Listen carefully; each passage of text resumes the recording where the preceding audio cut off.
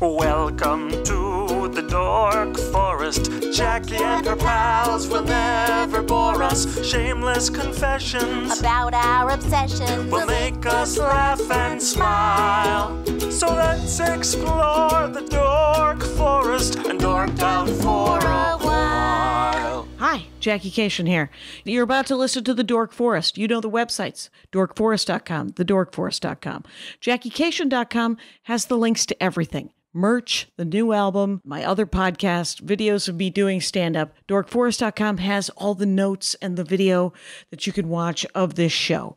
Traditionally, I tell you to donate to the Dork Forest, but it is November and December. I ask that you donate to a local food bank because you should. It's, I don't know, you should do it all year, but what the heck? If you are donating to the Dork Forest using the PayPal link that gives every month, you can turn it off and turn it back on. You can do a matching to your food bank and donate to me as well.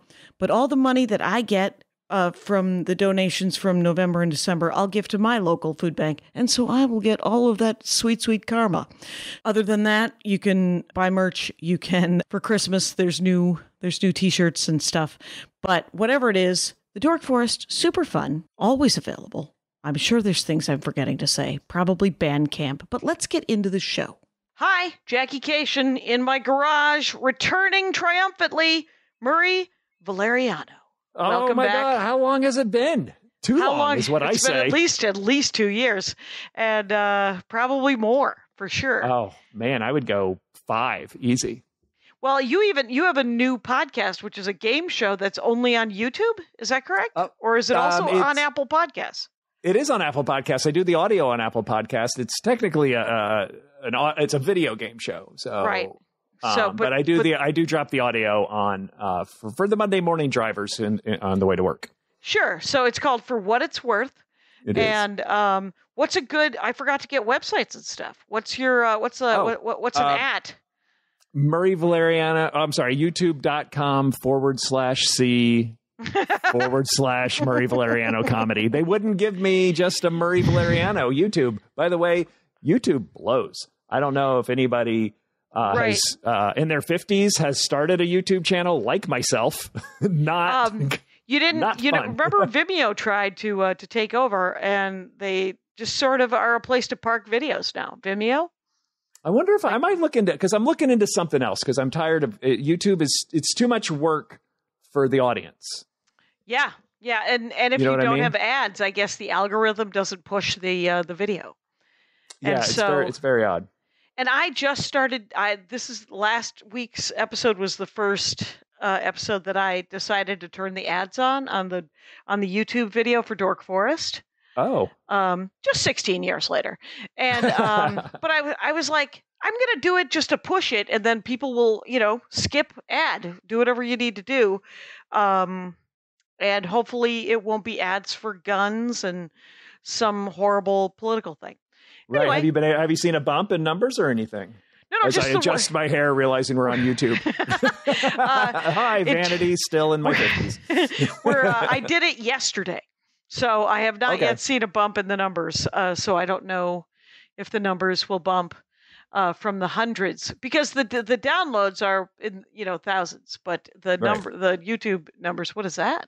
I'm gonna j- jot that down to remind to turn on ads if I haven't. Oh, turn my- on for what it's for worth. Uh, every game show host needs a card. Oh, fair enough. You got a card, uh, Murray.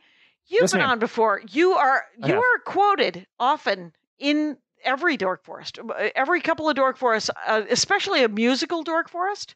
Oh, really? Because one of your first Dork Forests, if not the first, was that U2 one. Mm-hmm.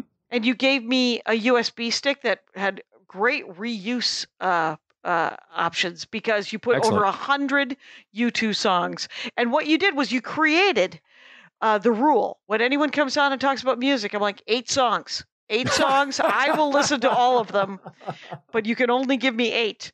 And because your U2 knowledge goes deep and forever, there is no bo- bottom. Uh, but I Uh, felt like I met a Balrog. All right. Well, first of all, X, uh, U2 dropped a new song today, as a matter of fact. For, for I was listening to it while I was waiting for you to come on. It's for Sing 2, the movie. Very Sure. excited about it. Bono plays a part. And I am also one of those guys who still makes mixtapes, as you know. Yep. And and I'll be talking to some random person at a party, and I'll be like, "Oh, have you heard the new ACDC album?" They're like, "No." I'm like, "Oh, I'll make you, I'll make you a playlist." They're like, "You don't have to." Well, I'm gonna anyway. so just accept it. right. Just know in your heart that it's coming at you. It's what I And- do. I'm gonna do it for myself, so I might as well give you a copy. Right, right. Because now that I've thought of it, it's happening. yeah, and that happening. and and quite honestly, that's your dork topic tonight, which is uh today, which is music trivia. yeah, and yeah. what you know, my brother Russ wants to come back on the show and talk to me about unlikely ways that musicians have made money. Uh, oh, that's you- interesting. That does sound interesting, doesn't it? Yeah, Uh, the- really. yeah, the only one I can think of is that guy from the Monkees who helped invent MTV, but um, Michael Nesmith. And uh, so, but what, uh, what, uh, what? Because for what it's worth, is yes. a musical trivia game show Well, that you I- tried to get me on, and nothing was funnier to me than me trying to think about answering questions about music. But well, here's fun. here's the here's the problem. I don't know how to c- call it anything else because music trivia is really one third of it. Um, this whole thing was really inspired by At Midnight. Remember Okay. that? Great. Yeah, yeah. I love doing that. I love doing that show because you, you wrote your own jokes and they're like Yeah. one off jokes. You'll never use them again. Right, So there's a section in the game that is kind of at midnight esque where the comics write their own material. So that's not trivia. And Nope. then there's a speed round game, which I try to make fun, which is kind of trivia ish, but kind of not. So Okay. trivia is just a small. And going to your point, um, you don't have to be a trivia nerd because I write them specifically well especially for people like oh i love the show it's hilarious i don't know much about music i write them specifically for those type of people right. I mean, when we did it, and it, there was technical difficulty, so I'll have to come back on. But one yeah of the absolutely please one of the um one of the questions you asked was a Lord of the Rings question, which Yeah. uh, saved my. I was able to answer that question. right and, so uh, and how i write them is like um i remember that question and the the topic was imagine dragons oh right, okay, which is a band right, So, Right. oh, Imagine Dragons. I don't know much about Imagine Dragons. I'll bet one point. And then it's Led Zeppelin was writing music Mm-hmm. Yes. about Lord of the Rings I in the been 70s. Who was that? Uh-huh. You know what I mean? So, And weirdly enough, I had just done I had just gone down some weird Dork Forest rabbit hole uh, regarding uh, Led Zeppelin. So Oh, I, I had access to that. So what when you say that you enjoy music trivia because it's Mhm. clearly you're researching for the for Yeah. the show. Is it and it's a labor of love because everything Absolutely. has to be right. and uh, can't be a labor of money uh, No, not no. initially not initially No, no, and no. um so but what what's your favorite like how do you how do you start looking at, Mm-hmm. at for trivia and what's your favorite way to to find stuff like what is Well- it like do you pick the band or do you pick the topic Um, well, I, I, I for, uh, first of all, I, I, I, I took a lot of what I knew knew already for the first round. I'm, I'm about a 18 episodes, maybe 15 episodes. you took a lot of what you already knew for 15 episodes of a game show Yeah, what was the so you two clearly you know a lot about you two sure, absolutely. what other bands what other music what other music do you have trivial knowledge of? Just Well, offhand a couple of I, I, everything, but, but but one thing I don't, I didn't want it to do was to be who played bass on you know U2's 40, which was the Edge. They switched. and you do and not want to listen to Jimmy Pardo's episode about Chicago, where Oh, no. the first thing that he did was he named everyone who had ever been in Chicago Oh Jesus Christ! by, was that an memory. By memory. Yes, it oh was. my god! Yes, it Yeah, was. he's insane with. But- No, no. Actually, I love that stuff, but I don't. I didn't want that because I didn't want that 'cause to I, be the show.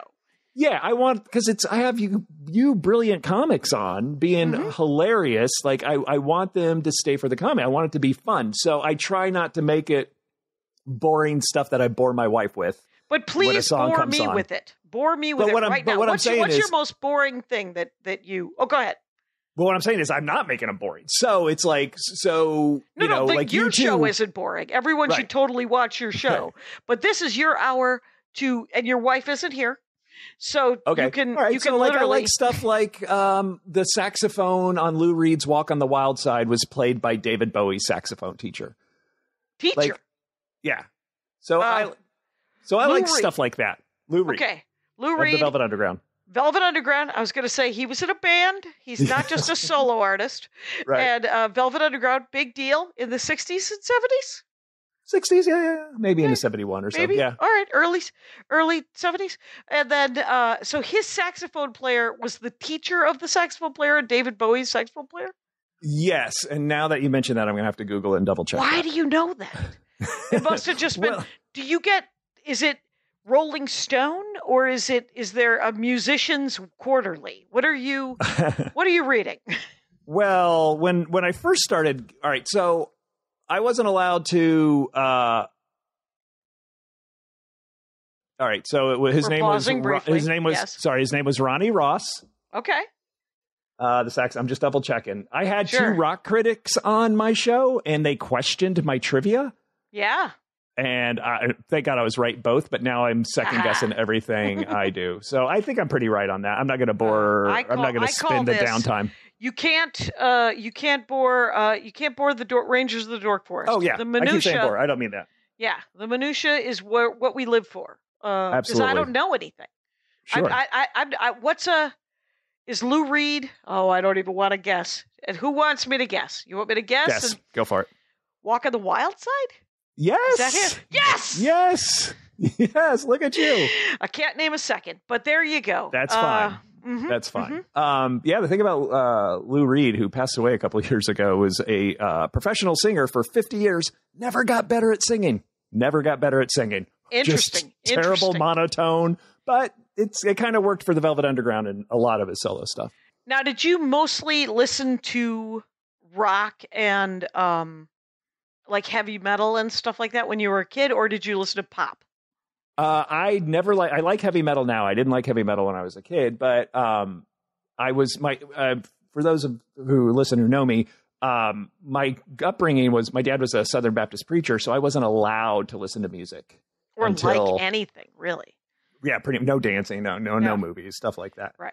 Um, so when I would get booted out of school, out of class for being a smartass, I just go down to the library and read the Encyclopedia Rock. I read a book on Woodstock. I, I did a term paper on Woodstock in high school, and everybody was like, "The bird from Snoopy." I'm like, no, no, it was a concert. uh, I think uh, the only thing I know is that where they chanted the F word, uh, because Oh, I was part of an album. I was part of an album club in junior high, and you could bring any album in, and they would play it. And I brought in the Woodstock album that belonged to my stepmother, and uh, the teacher, who was this woman who was like a, an old hippie woman. She teach taught social studies, and she dressed like a dragonfly. She had a lot of gauze, and uh, and she was amazing.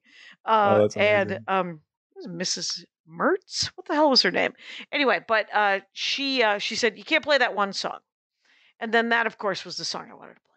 But Of uh, right in front of it, Country Joe and the Fish. right in front of Country Joe and the Fish. Yeah. She was like, "All right, I'm taking it off." And uh, but so, what was your what? What do we know about Woodstock? We know that Joni Mitchell. This is what I know. Uh, that Joni Mitchell didn't make it, hmm right? uh, the Beatles were asked. The Beatles were asked The to Beatles be, were oh, but they were too big, probably. They were at they it's 69 so they might have officially been broken up and uh, not unofficially been broken up so i believe the quote is john said um, i don't think i could get the lads together Oh, all right. and then he then he pitched the plastic ono band with yoko and they're like hard pass Aw, poor Yoko. Except for that, I've heard some Yoko, and I'm okay. I'm okay with a Well, you hard know- pass. she gets she gets blamed for breaking up the beatles and it it it really every everything broke up the beatles egos money time everything broke up the beatles it wasn't Right. yoko No, although no. i'm sure it was It a pain can't in the ass with her sitting next to john recording the whole time but And everybody's everybody had some some person sitting next to them, didn't they? Like, there's no yeah, way. at one and- point yeah, and he was, and she was his muse. And I Mhm. remember I saw Dick Cavett. Oh, I've seen a lot of Dick Cavett. i love and- dick cavett Right. So Dick Cavett interviews um John John. Lennon. Yeah. No, just John Lennon. Wait. Oh. Might have been John and Yoko, think- but whatever i it was. they did a week long with with right, Dick. and it was no studio audience. It was just the the three of them, I think. Mhm. And whatever it was, at some point, uh, John Lennon says, "You know, everybody blames uh, Yoko for breaking up the Mm. band, but look at the stuff that Paul McCartney has done since the band broke up. You wouldn't have that. Right. So you should be thanking Yoko for breaking up the band." And it was such a great answer, right? Yeah, yeah. And because I like- I Paul like McCartney their- stuff is really good. Paul McCartney stuff's good. You know, a lot of John's is good too. Uh, I, I tend to be in the McCartney camp, but um, I, I love their relationship and just. There was a quote from either John or Paul that's when they asked, "Are you and Paul? Are you guys still friends? Or are you guys fighting?" And he's like, "Yeah, if you can't fight with your best friend, who can you fight with?" You know. Oh, that's awesome. Yeah. That's cool. Mhm. So did they did they talk until John died? Do you know, or Yeah, they, they, off made and on? they they made up. They made up. I think I think everybody made up uh, in that. That's band. cool because I'm reminded of. I picture them. Did you ever hear that story of Todd Glass? I don't know if it's true or not, but it's an awesome story. Todd Glass is uh, he walks into the comedy cellar and Louis C.K. is there, and he Oh, yell. Todd Glass yells across the room, "We don't talk anymore. We don't talk anymore." and it's such a Todd Glass moment Oh, absolutely. that I wish. I hope it's true. I hope it's true. Oh, I like it. I love Todd Yeah. Glass. Sure, me too. Louis C.K. not as much. Not I a, wa- no, you know what? Yeah, I not wanted- a fan. I wanted him to have done the joke about the thing that he did that was not nice, that wasn't cool, and uh, instead, I guess he's doing a joke about how. I guess she changed. I guess it's okay for people to change their mind. They say yes to something and then they change their mind. And I was like, yeah, that's true when I lend somebody my iPhone. It's true on every level. I've given you something. I would like it back. I've taken it. I I don't want you to have it anymore. And when your dick's in your hand, I'm interested. I'm interested. I'm not to quote Kevin Nealon. Interested. Interested. Right. Not interested. Not interested. Right. And- Right. anyway, yeah, I've weeded off. Yeah, that's uh, fine. But what? Um. So the Beatles Mhm. are huge. Oh, Did we you? just did a Beatles episode, by the way. oh, really? With An a lot of Be- I surprised it. I surprised everybody on it and made it an all Beatles episode. what What's your favorite trivia about the Beatles that somebody might not know?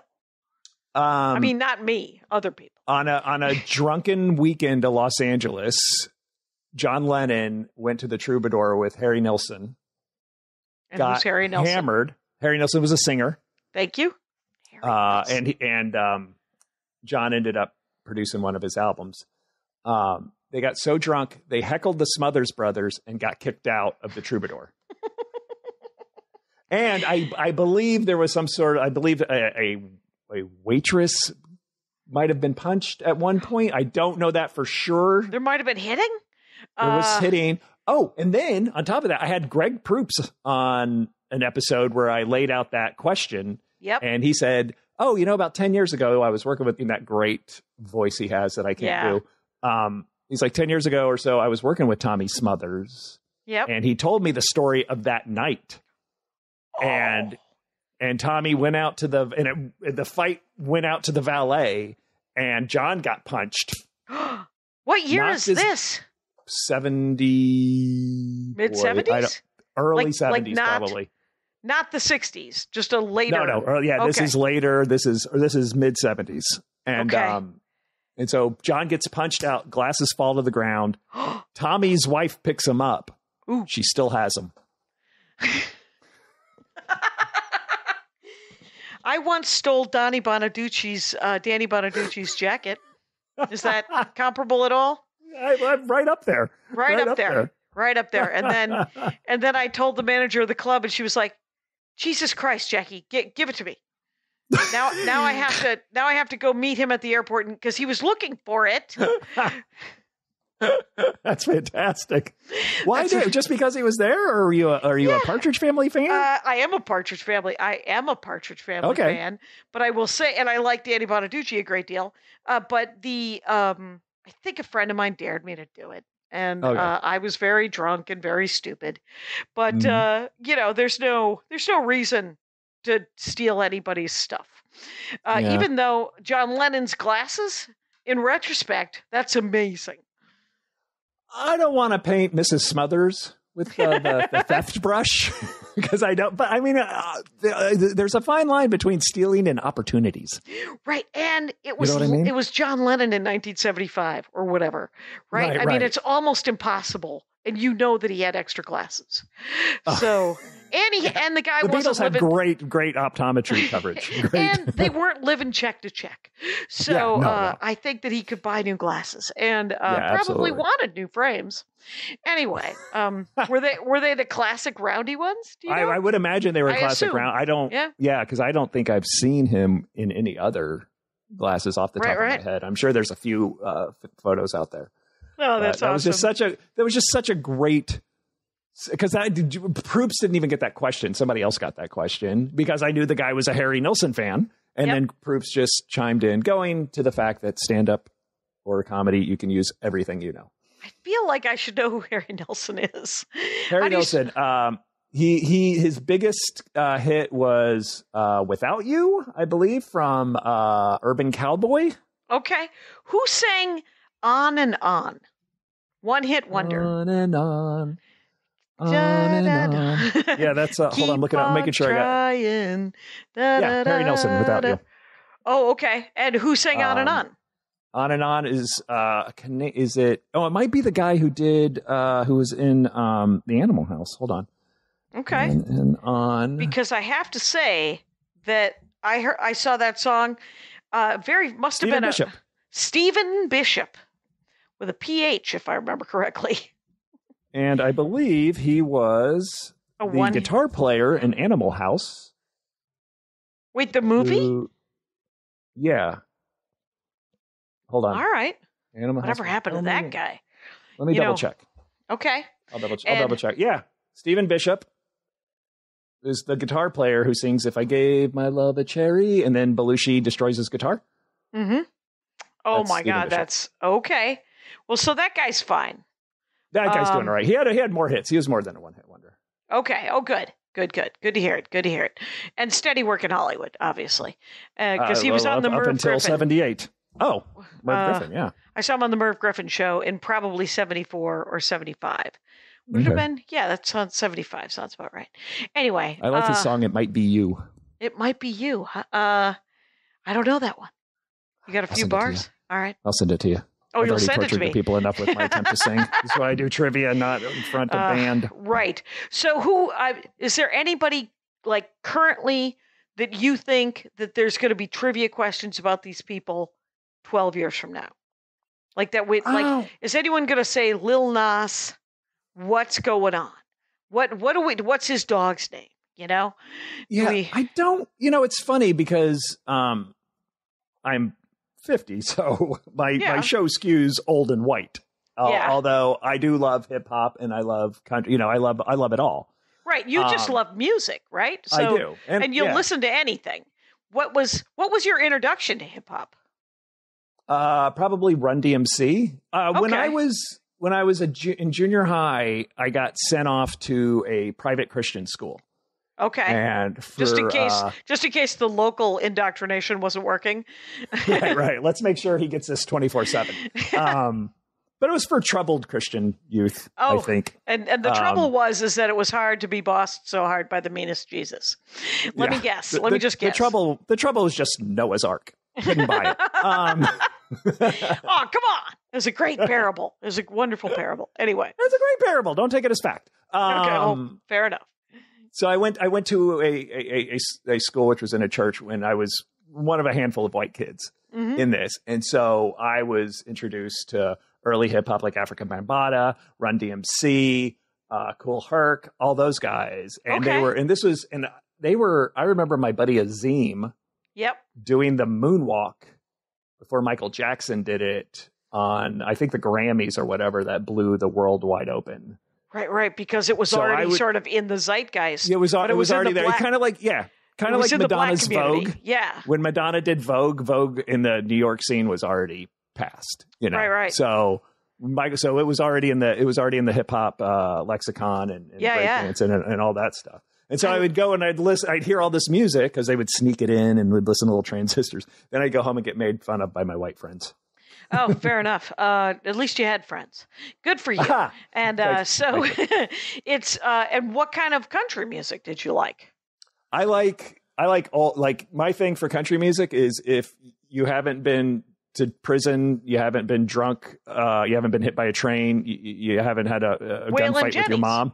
Yeah, I want to hear. I want to hear outlaw. I want to hear. Yeah, exactly. What's Waylon, Will uh, just outlaw country. Oh, Outlook. Oh, so sort of. I mean, the thing is, is in the seventies, I my stepmother also she went from Woodstock to Mhm. like Waylon Jennings and Sure. Willie Nelson and all of those guys, and would listen to it nonstop. She had the albums, and and so I listened to them too. And um, but it it felt a little rocky. You know, it was starting to get it was starting to get more pop rock. I would. There was a uh, there, there's a cross in the late '60s, uh, mostly by like the Byrds and Gram Parsons for that country rock Okay. thing. I think Graham Par- Gram Parsons might be heralded as really the first one to to do it. Uh, some I could be wrong on that. Right. Um, so there was definitely a thin line, and if you go and look at a lot of the bands that played Woodstock, you know they had Yeah. that they had that country that Americana type thing. Dylan, the band had already broken off from Dylan, and Okay. they were doing Americana stuff. So that kind of Americana country thing kind of really met in the late '60s, early '70s between country and rock. There's a I wish I could find this quote. I've been looking for it forever. There's a there was a great club in Texas in the late '60s, and it was a hippie club, and they Yep. were going to have Willie Nelson. And they made the announcement of Willie Nelson coming, and everybody booed. And he said, "Come on, he's the country version of of Bob Dylan." And then everybody booed more. wow, that's uh that's too bad because Willie Nelson is great, you know? Oh, So, fantastic! I love him. I I, think him. of him as the Weird Al Yankovic of mainstream country music. Um, I want to know why. well, because the other way would be a Weird Al Yankovic is sort of the Willie Nelson of Firking, you know, of of sort of um, parody uh, music. Okay, Because I I don't think, know if I see the connection. well, I don't know, because I think that there's a lot of cred in Willie Nelson. Oh, absolutely. And so I think that uh, Weird Al Yankovic has more cred as a guitar comic than any other guitar comic in the history of the world. That's that's where I that's how I got I there. I'm not that. saying I'm right. I'm just Dude. saying I Weird Al is phenomenal. Like really uh, he gets he gets shit on of so much for being a guitar comic, quote unquote, or a or, or a did novelty back rock. in the 80s. Yeah. Yeah, but he is, dude. If you ever listen to his uh, song Bob, Yeah. it's Nope. all palindromes. Oh, is it? It's all it's amazing. It is amazing. The guy's brilliant. The guy's brilliant. I love Weird Al. Right. I mean, and, and the thing is, is he sort of outlived how you know the other comics. Because the thing is, is if you're good at anything, you're just good at it, and eventually there will Yeah. be an audience for it. So um, that and and he sort of he outlived his enemies, right? He Oh, kind of 100%. yeah. So it's kind of great. I agree. We Yeah. a bunch of us, a bunch of comics were in a Weird Al video called um, "The Saga Begins." What's that? It, it, it was his parody of um, American Pie, Mm-hmm. uh, done about Anakin Skywalker. Hello, Dork Forest. Uh, nice. That is a rabbit hole right there. Right? a- Say that again. it's it's all right. The, the parody song is uh, it's called "The Saga Begins," but it's the parody of uh, Don McLean's American Pie. Yeah. But it's And- but about the Anakin. Story is about Anakin Skywalker. In the prequel? Uh, yeah, yeah, it came around with prequels. Wow. Yeah, yeah. That he talks about a- him being a little kid. My my, this here Anakin guy. Uh, that's he's a awesome. pilot, but but someday he'll be Darth Vader. But now he's a small fry. I mean, come on, classic Weird Al lyrics. It- oh, it's perfect. Yeah. it's so great. It but it was great. like me. Uh, uh, a comedy manager booked it at this at that time, so it was like me. Darren Carter was in it. sure, sure. Red hair. the party starter. Yeah, Yep, Darlene. Hunt. Sure. um, a guy named Mike Wilson, who I kind of know, kind of don't know from back in the day. And his name is Mike Comedy and Wilson. Magic? Um, I think so. Yeah, it's it's a real Um, hard name for me to have that stick to a face. I'm afraid. Sorry, Mike. I know, but I'm, I'm, I'm blanking on all the. But uh, yeah, it was all comics and stuff, and Oh, so we're all awesome. extras in it, and so you can you can look it up, and all That's everybody cool. in, in in Star Trek makeup is, are actually comedians. Star Wars, hopefully, but Star I Trek know would that be use even. Star Trek. They use Star Trek. I had a Star Trek head. That is But- outstanding. but there were other Star Wars. I, I, I don't think they could do the character. I don't. I- Maybe for copyright. I don't. I don't know. I'm speaking out of terms here, but um, yeah. So I don't think they could use actual. So they kind of looked like they would fit in the bar scene in in in, in Star Mos Eisley, but Yeah. yeah, but not. But there was definitely a, a Star Trek makeup person on it. Right, right. Oh my God. There's so much. I mean, it is interesting about the the about music because there's so many different kinds of music. Did you and I think I just brought this up an episode ago or so, but here we go again. Or I didn't. Uh Bridgerton, the TV show Okay, on Netflix. Romance novel series, limited series. sure. Uh, the or their uh, orchestral arrangements of of um, pop tunes, like "Thank You Next," Ariana Really? Grande. Yeah, was a was a that's what they danced to. That was the that was the Oh, Regency dance to "Thank You Next," um, but with an uh, with an orchestral arrangement. oh, that's I my.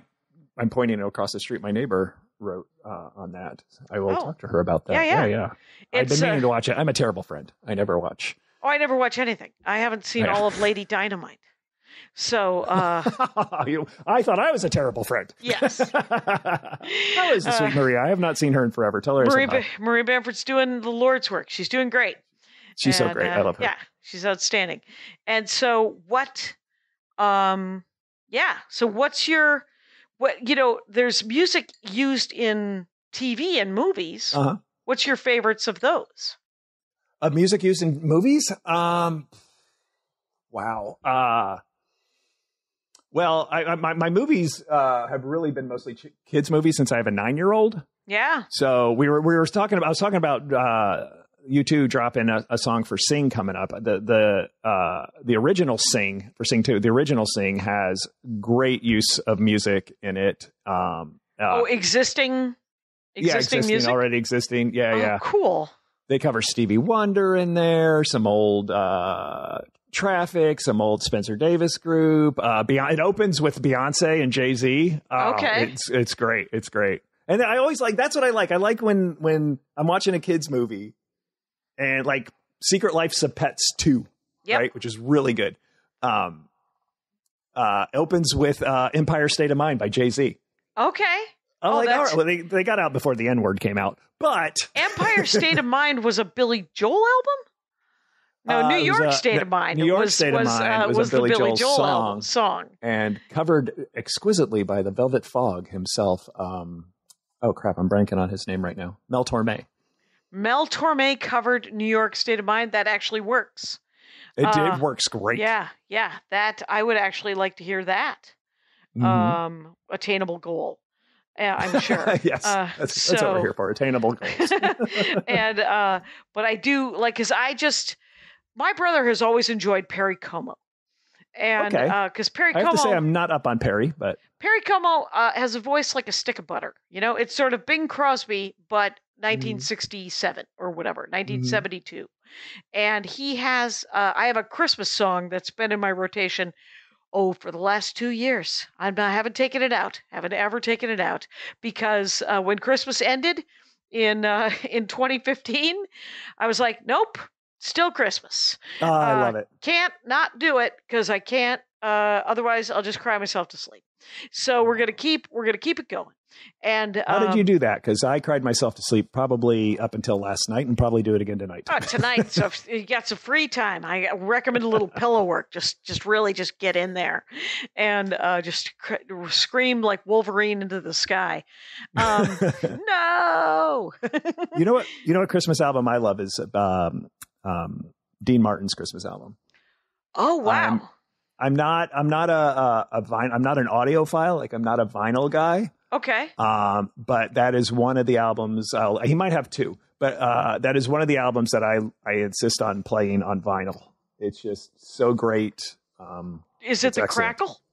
Is it the yeah, crackle? I think the that- crackle adds adds to it. Um, and they're you know they're all standard Christmas standards. Mhm. Um, yeah, Yeah, so, well, he, yeah, the he sings White Christmas, album. yeah. And the and the sleigh and yeah, Oh, we got White Christmas, we got Jingle Bells, got Let It Snow, Marshmallow World. I love. Uh, Yeah. Silent Night, of course. I think God Rest Ye Merry Gentlemen by Annie Lennox might be my favorite Christmas song. that's if off a very special Christmas, right? Uh, very possible. I just it it Christmas song. I actually could do a Dork Forest about Christmas songs because I do love Christmas songs. There's three or four very special Christmases. Um, and Annie Lennox, uh, she, yeah, that's one of my favorites also. Um, I'm looking up the, I'm, I don't know why I'm Wikipedia and I could just pull it up on my phone. Oh, no worries. And but Uh, it's- yeah, yeah. that that verse that verse to very special Christmas Mhm. is phenomenal. Phenomenal. oh, is that a couple whole album? They did a jazz one. They did a jazz one. Oh, is it mixed? Um, is it is it different artists doing different yeah, tracks? it's different artists. A very special Christmas. Let me do volume one. Um, yeah, it's different. It has my favorite U2 Christmas song, "Baby Please Come Home." Christmas, baby, please come home, which uh, Letterman had the original singer on it every year before he retired.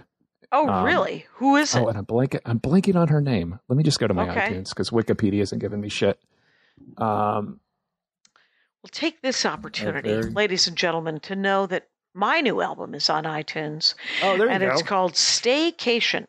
So get with it and feel free to stream it, download it, uh, do something with it. And then I'm so excited uh, for that, man. I'm so excited Yeah. for you. You're one of my favorite comedians. uh, um, it you is work harder fun. than anybody I know.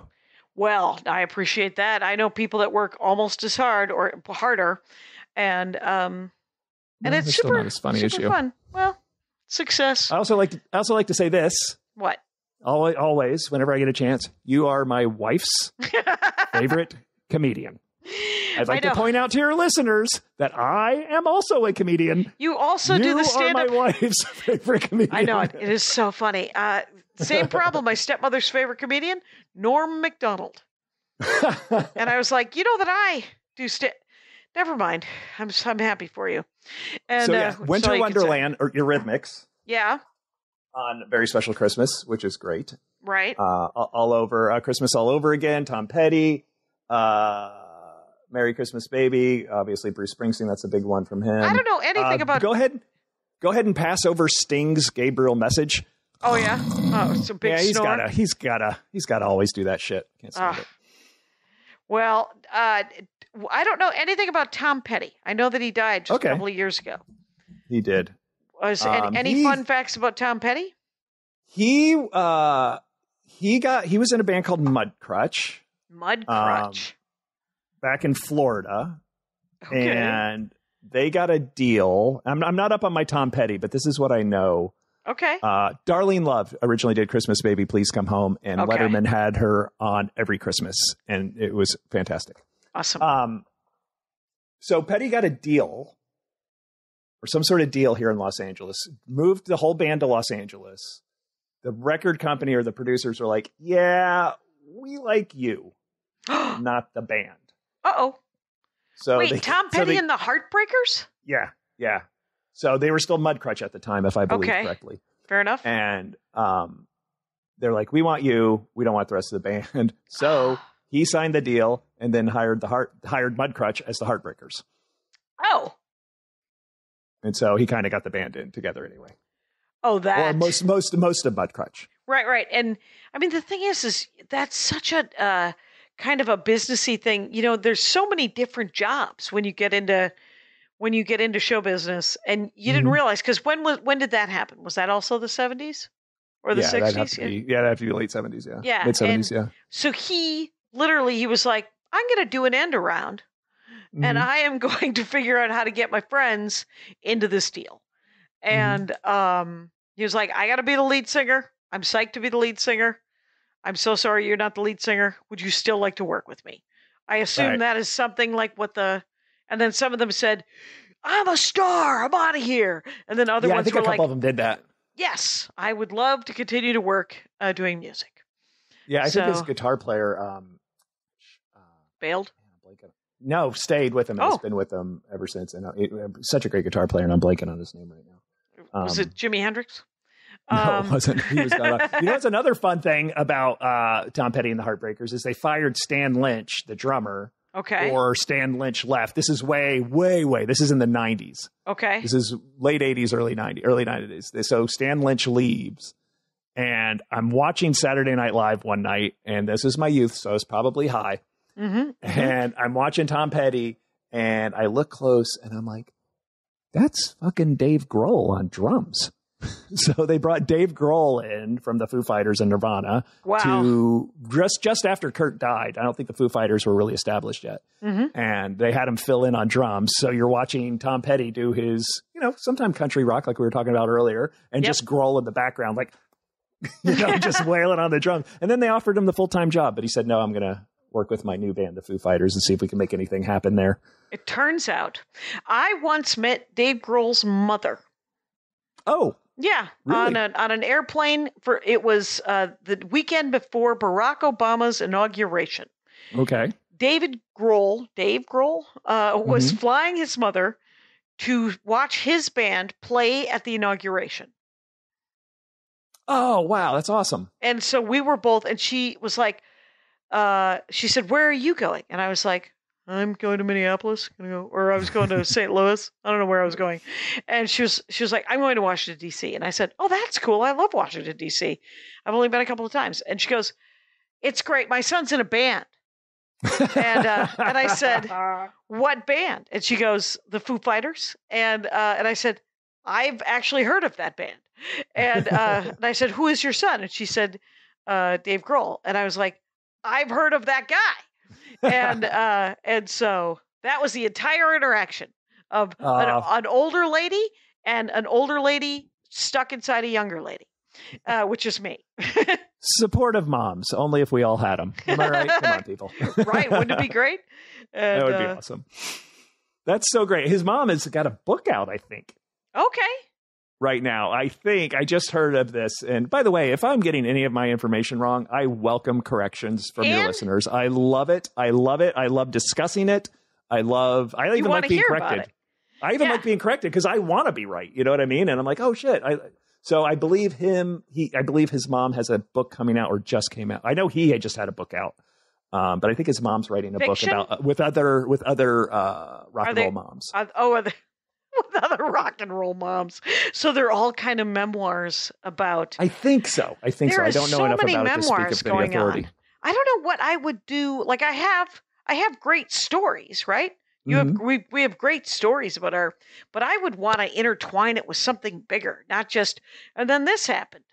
I mean, this is. I mean, essentially, the podcasting is where the anecdotes belong to some extent. Yeah, I've been. I don't want to say I've been, but I've been. It's been suggested that I write. I made a lot of bad decisions um, in my youth and twenties and thirties. Uh, And that yet turn you out I lived. survived. I survived. Very fortunate because a few of my friends didn't. Um, right, right, and I've been told I should write a book, but hey, you know, I think everybody gets told that at one point in their life. Well, I mean, the the the reason I think that someone would write a book, like some people write a book, they're like, "Hey, uh, I made a bad, a lot of bad decisions in my twenties and thirties. I lived. I also tried to commit suicide, and here's why you shouldn't."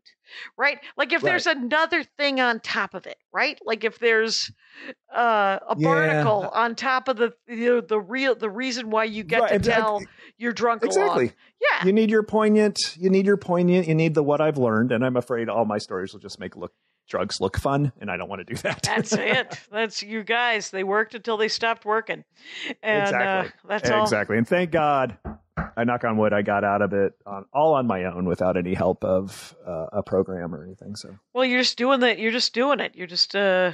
There's sometimes you just hit a wall and you're just like, I cannot do this anymore, and I so stopped you drinking stop. a little over two years ago, Yeah, it's just because I um, was on the road so much.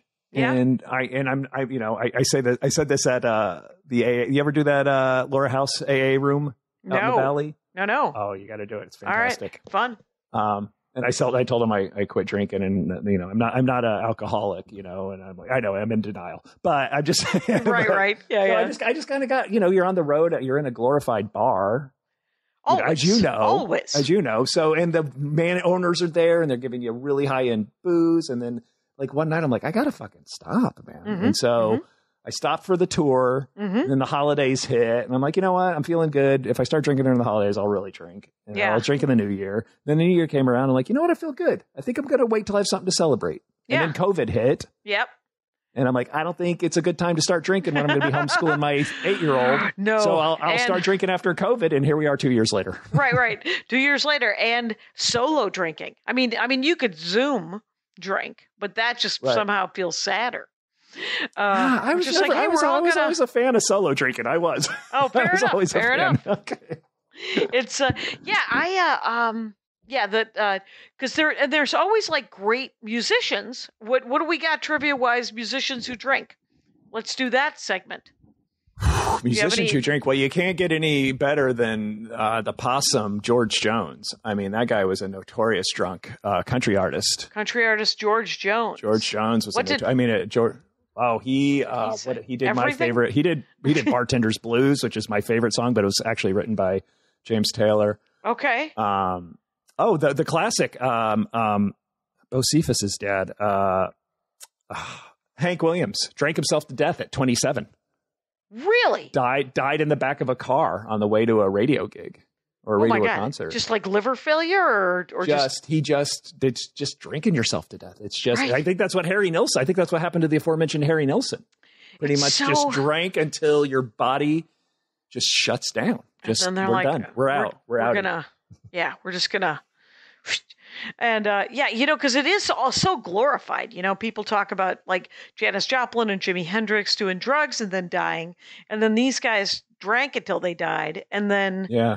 um, then there's Hunter S. Thompson and and uh, and Hemingway who drank and did all the things and then shot themselves, and um, you're like, I think I think I like George Carlin who died of old age, considered a Mhm. genius in his bed surrounded by loved ones. Mhm. That It's a way to go. so I want to go. And also, supportive mom. also, I, so, uh, I don't know. I don't know if that's right. I was like, "What? Do you have a story about George like Carlin's think mom?" so. And But isn't there a thing, especially in, in music and in comedy, where um, you know drugs and out drinking are, are are glorified? You know what I mean? Yeah. Especially in the arts and and um and you know I used I have a sadly I have a bit on my last album about you know doing doing drugs is the only job where it's okay. And Harold, you can't be an accountant, and you know. But I reference Scott Weiland in that one about him dying of a drug overdose, and then sadly he died of a drug overdose like two years ago. oh my gosh! So Uh, it's kind of yeah.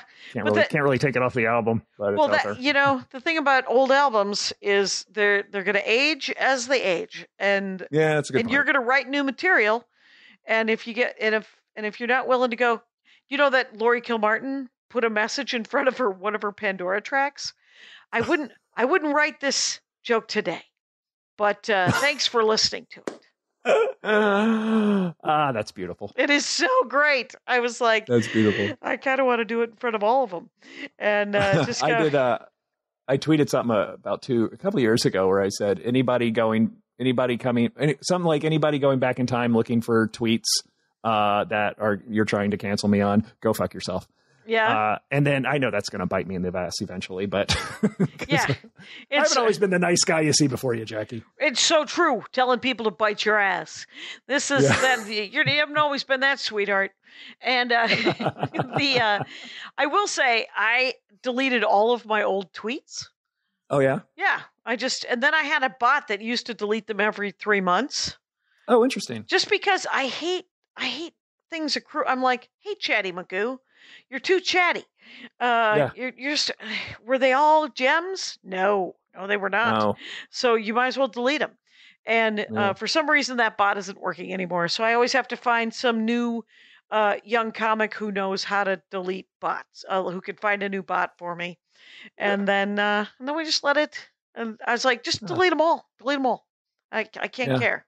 it's actually not a bad idea. Yeah, it's uh, Because every once in a while, like you'll get like you know, I try not. I know you have two pages. I know you have your personal Facebook page and your professional Facebook page, and the personal one is politics and all that, and the professional one is not. If I Mhm. if I remember that yes, correctly, that is true. um, I try to do that. I save most of my political stuff for Twitter.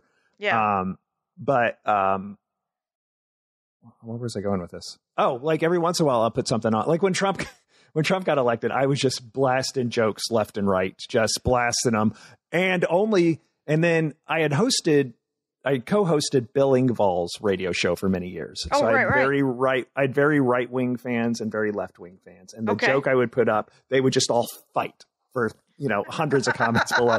And I had to stop doing it because all these jokes were just thinly veiled shots at my parents and they weren't even reading them. So I was like, Right. all this, all this My stuff da- for nothing. I can't believe my dad joined Facebook during the pandemic, during lockdown. Oh. And I was like, ah, why is he? All right. Yeah. And he's 84. And I was like, there's no way. Actually, it was probably the year before. My sister gave him a tablet so that Mm-hmm. he could. Uh, so that he could watch Netflix or he could do something. I forget Sure. why it was. And I was like, he's not going to be able to figure out how to use this Samsung tablet. It wasn't even an iPad. I can't talk him through it. So I burned a YouTube video of of the directions on how to use a Samsung iPad, and I that I mailed him a DVD. He has a DVD player, so right, that he could watch it. And so I called him one day and I said, "Did you get the DVD?" He said, "I have not gotten the DVD. I got the i- I, I got the tablet though." And I said, "Oh, well, the DVD will tell you how to use the tablet." And he goes, "Well, so far I watched one thing on Netflix and I Googled something." And I said, "Oh, throw away the DVD, Dad. You have already." you are there, Figured it out. yeah, it's not, it doesn't make any sense. And but I do. um We have weeded off so much from musical trivia. Oh, that's fine. That's Which- also what I love about podcast is yeah, yeah. We just take it conversation wherever eventually. it goes, man. It's take true. it wherever it goes. Yeah. Do you have any favorite stories that you want to tell me? Uh, in general, Yeah, about music or oh, I was going to say the time I went roller skating at USA United Skates of America. Uh, that was fun. the fact grade. that they've named it Skates of America uh, makes them geniuses. right. uh, we good used for to, them. oh, we used to have to. We used to have to go to. We used to have like my church would, or a couple churches would rent out the Tuesday night. Sure, they you would have wouldn't want to be, uh, filthy heathens being anywhere near Yeah. you, so rent it out. Yeah. Yeah. So we went to that, and then like you would skate for like three hours, and then there would be a sermon afterwards. yeah. Try and get try and get your friend to come to that again. right, right. I had some friend who was like, I would like to see what the Armenian church services are like. And I was like, they're three hours long. And they're like, Ooh, I don't care that much. And I was like, Yeah, no, no, no. one does. No one does. Yeah. I went we to did, Sunday we school. did about an hour and a half, and I was done. yeah, yeah, At, at an hour and a half, way too long. yeah. Too long. But you do what you can. Uh, you try Mm-hmm. to, it was, uh, it was, you know, there's what kind of, could you roller skate backwards? Were you good at roller skating by You the end of it, I wasn't. I wasn't good at a lot of things, but I was good at roller skating. Oh, there you go. I can't. I can't inline. I can't inline skate to save my life. Oh, but the I was good. I could do the four. I could Xanadu that shit up. I could. Yeah, totally. But I, I could never do. I have weak ankles, Jackie. I have weak ankles. Oh, interesting. Ice skate or inline skate. Mm-hmm. You you would need the support. You'd need those good uh, skates instead of the rentals. So things, yeah, it's uh it's hard to it's hard to write that write write that. Uh, what so You had um, asked me uh, one of the favorite stories about Yeah. music. Um, I think one of my favorites is going coincidentally going back to John Lennon. Um, he and Elton John did a uh, a song, um, "Whatever Gets You Through the Night." I think it is.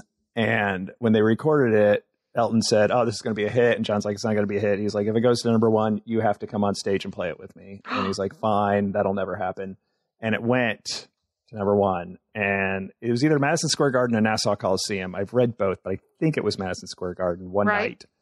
Elton John and Lennon hadn't been on stage. The Beatles had broken up. He hadn't been on stage in a few years, mhm. and he said, told the story, and he said, "So, ladies and gentlemen, John Lennon." And John Lennon comes out, and he said, Elton John says he has never heard a crowd scream Lose louder, minds.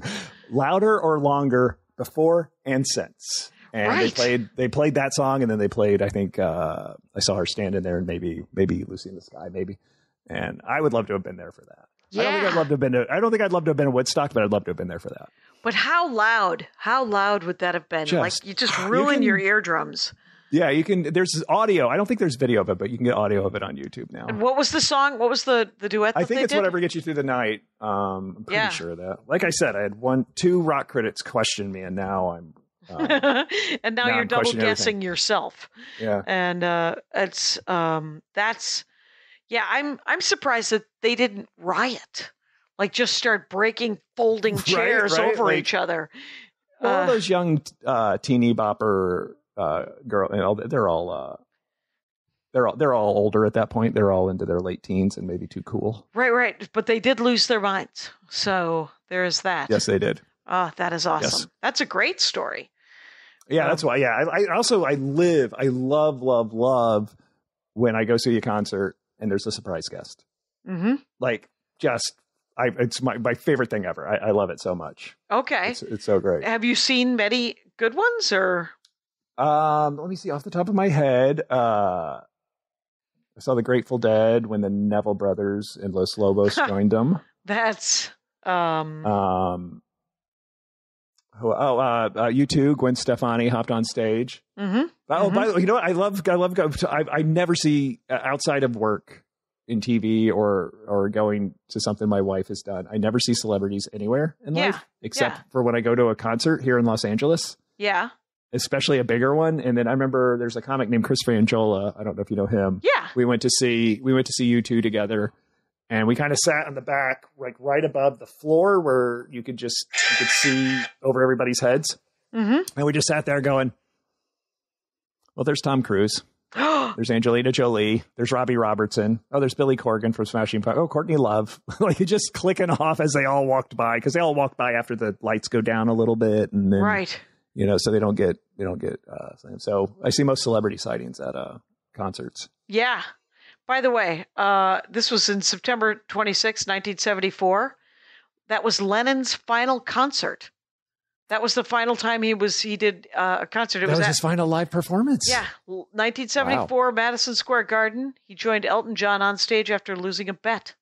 3 Mm-hmm. songs, uh, "Whatever Gets You Through the Night," "Lucy in the Sky" with diamonds, Oh. and "I Saw Her Standing There," which were the other ones that you also. I'm spot on, motherfuckers. I am it. spot on today. Oh, nailed Not it! Not anybody can landing. just host their own YouTube trivia. Oh wait, everybody can. Anybody can. But by the way, I am can. talking with Murray. We have a, we have a couple of minutes left. Um, Okay, sure. yeah, I'm talking uh, Valeriano Murray. Uh, it's the Valeriano. Valeriano. What? How did I do it? Valer, Valeria. Yeah, Val. Valeria. Yeah, I did it. Valeriano. And I'm not being a prick. Uh, just No, as a running joke between Jackie and I. certainly for 20 is years. for 20 years. It's why I called the album Staycation in the hopes that people would pronounce my name right. oh, Uh, beautiful. And I was introduced on stage the other night. She has a new album coming out called Staycation. Please welcome Jackie Kashian. And I was like, wow, all right, okay. Hmm That's fantastic. I love it. My favorite Yep. introduction on stage, and I can always tell when the MC is not going to get it because they just kind of like get that shark glass over eyes when they're, you know, Yep. and he's like, "Hey, do you fit on my blah blah Uh blah?" huh. Um, Murray, Murray, Murray. Yep. and that was my introduction. Oh my god. So nuts. Um yeah, so yeah, so let's leave on uh you, you got another one or what do you got?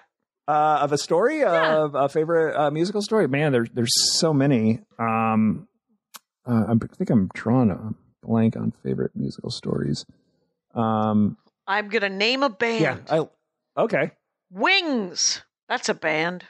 Oh, Wings! I love Wings. I saw. I love Wings. Wings is great. Wings over America, Across America is one of my favorite live albums. I got to see Paul McCartney. This is one of my favorite stories ever. Okay. On the Flowers in the Dirt tour. This is one of my favorite personal stories. okay. Uh, on the Flowers in the Dirt tour, 1989, 1990, 1989, I think. Mhm. And this is this is again this is like I'm just now getting into concerts and music because I'm out of my dad's jurisdiction as a teenager. So I'd never been to many concerts. I bought uh, Obstructed View, which I didn't even know what Obstructed View was, but I was really into the Beatles at this point, and I was really into Paul McCartney solo stuff because this is the '80s. And I was just so excited to go see a Beatle. I, I couldn't believe he's going to play all these Beatles songs that he'd never played before. So we get obstructed view, and we- we're like, it's at Madison, it's at uh, Giant Stadium. We're up in, you know, section Nosebleed. C of tranquility, if you will. like that's how high we are. Yeah. Um, and so this guy, and so it was me and my girlfriend at the time, and my best friend Rich and Brian Bopp were like four rows behind us. And uh, this guy comes up who I had seen in an interview on 60 Minutes with Paul McCartney the week before. Right. So I, knew- by the way, the first time I ever watched 60 Minutes, I'm sure. And uh, and he walks up to me and he goes, "Mr. McCartney has some seats down closer to the stage for people with obstructed view. Do you guys do you want a couple?" And I'm like, "Yeah, can we get two for my friends up there?" And I'm sure they came to us because we were 18, you Right, know, so they right, want young people, you Yeah, know, I'm sure. And so he's like, sure. So I'm like, are they better than these seats? And he's like, uh, yeah. So we get them, we go downstairs, we go to the floor of Giant Stadium, and we're at the back, and we hand the guy our tickets, and, the- and the guy goes, oh, hold on one second. And he calls over his supervisor. We're like, oh man, we got fucked. Like, we, we got bogus tickets. How could that be? I thought I recognized that guy from 60 Minutes. And then the, the guy comes over and he goes, oh, okay, follow me. So he walks us, you know, it's got to be easily a 100 rows. right, right, right. for- for it's the a quarter floor, of right? a mile. It's easily. yeah, it's, it's, a, it's a football mile. field. Yeah, it's, It's a a football. football yeah, field. yeah. Giant stadium. and he walks us straight to the front row. What? And he goes, All right, let's say there's 100 seats across. He goes, All right, this is seat one. That's seat 100. Your seat 49, your seat 50, your seat 50, and your seat 51. So I got dead center, front row, Wow. Paul McCartney. I mean, I was a 16 year old Beatlemania girl Wow. screaming my heads off the whole It's still the greatest concert experience of my life. That's so cool. One of the previous Dork Forests was um, spacing. I, it was about Diana Ross, and um, I am I've lost her name to the ether in in this moment. But her and her brother, he was gay and out in 1970 and 18, which is gutsy stuff.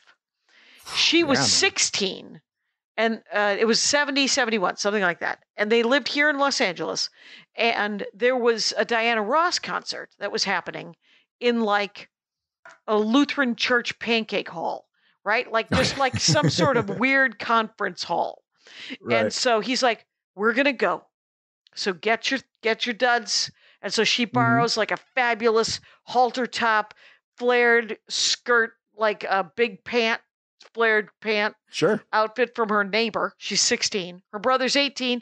He is fabulous from the get.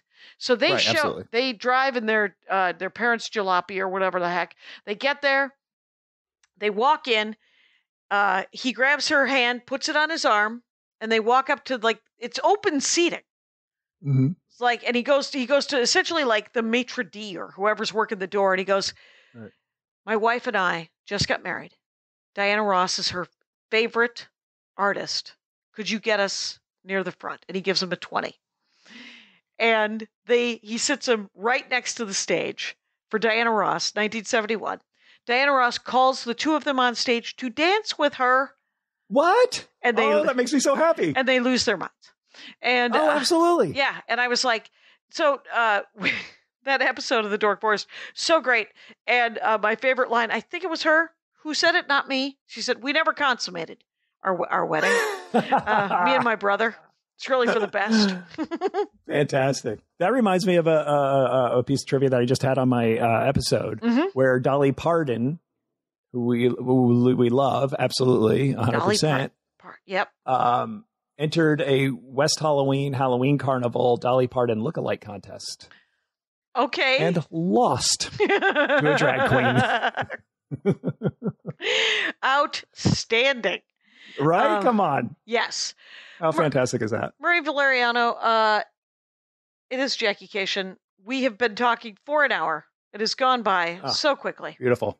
Um, every, I can talk to you for an hour anytime. As a matter of fact, I know you're wrapping this up, but you and I, uh, about once a year, get into uh, about an hour, hour and a half phone call. just a phone call, bringing it, talking about everything. Hour, hour and a half, and I miss it, and I love it, and I can't wait till the next one we do. All right. And everybody, uh, you can listen to his older episodes, which was U2, and of course, surfing. And Right. then, um, for what it's worth, is on YouTube. It's uh, I'm going to put it in the notes. Um, and Murray Valeriano comedy is where it is at on YouTube, and it's also on Apple Podcast Podcast for what it's yeah, worth. for the audio version. Yeah, Yeah. yeah, for what it's worth, and it'll be on all my socials. Also, it's all in all of them. which is I think Murray V, is it not?